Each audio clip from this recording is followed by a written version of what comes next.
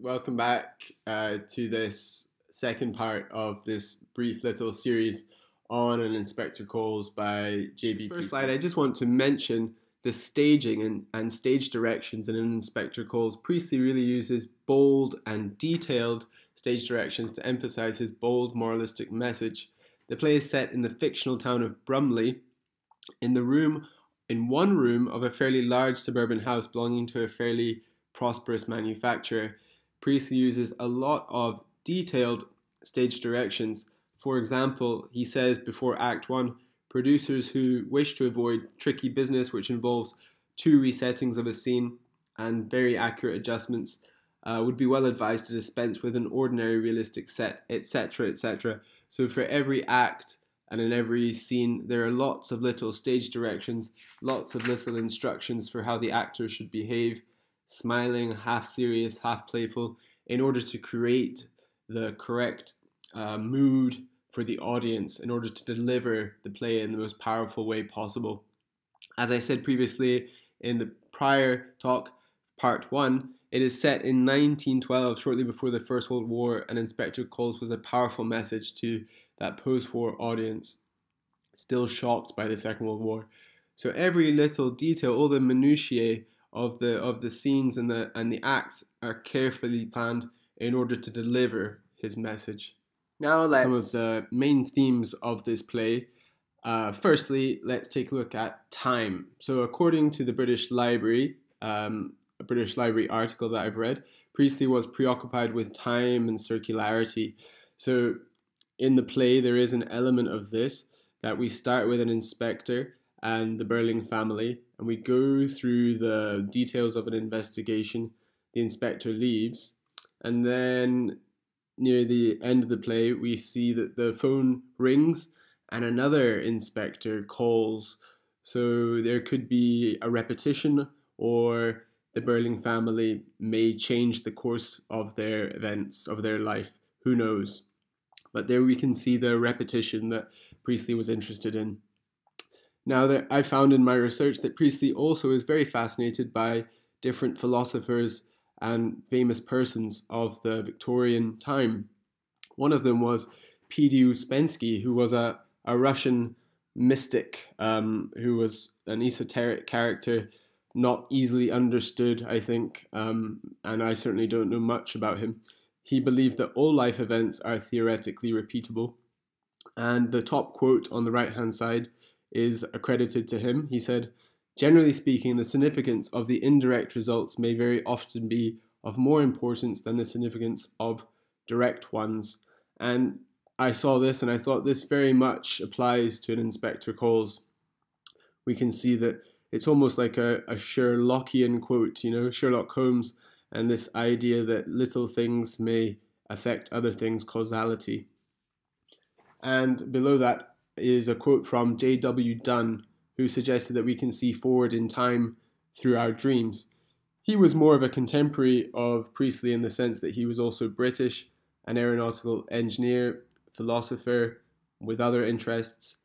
He said, Where all is fog, a blind man with a stick is not entirely at a disadvantage. So, in this play by Priestley and Inspector Calls, we do feel as an audience that for a large majority of the play, we are in a fog with the characters. So I thought there's very interesting elements here from these different influences in Priestley's life seen in the theme of time in the play. Main theme of an inspector calls, I would say, is social responsibility. Like the Birlings, us as a present day audience must come face to face with mistakes of our culture, our personal past, or our collective past, and maybe we can choose to act differently to create a better world with hope. There is an emphasis on personal choice and opportunity.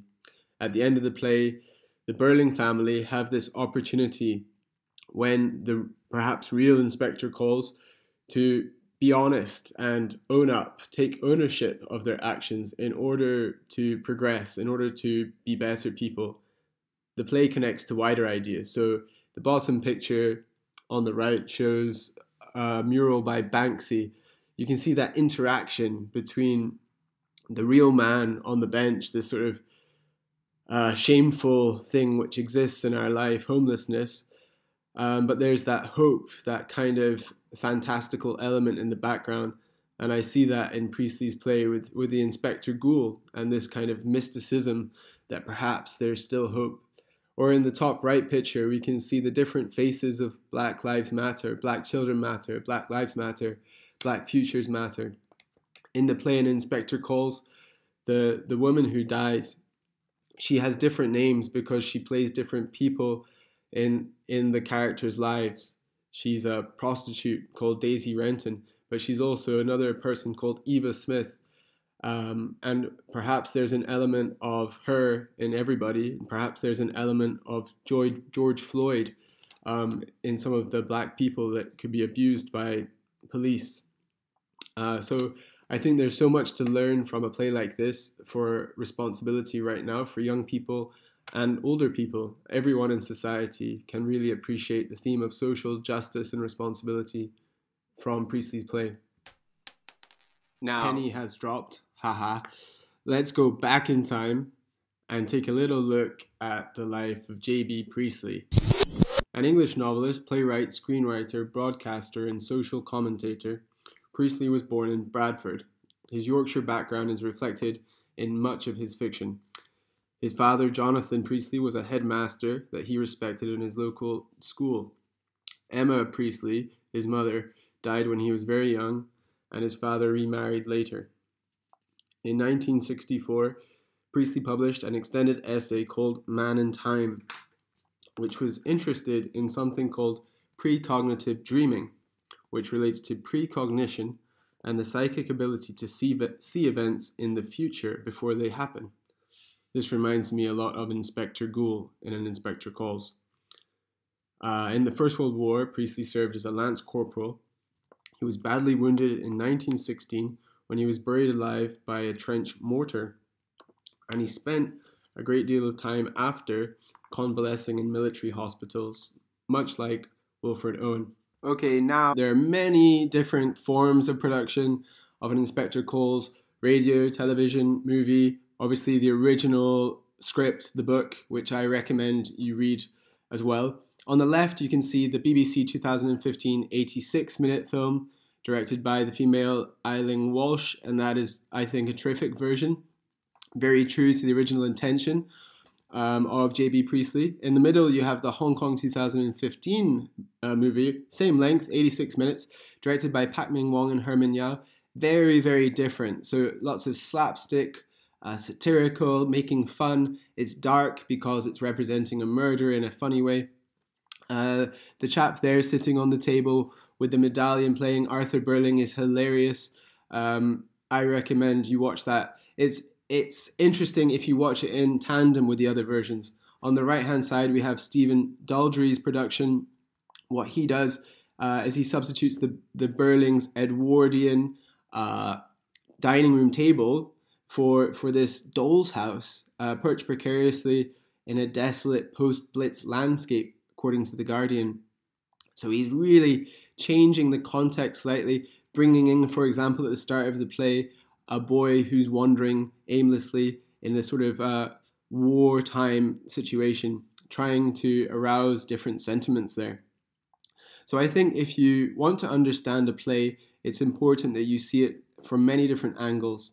And by doing that, you're going to gain a deeper appreciation of whatever uh, the writer is trying to convey in conclusion, I want to leave you with some wise words from the play.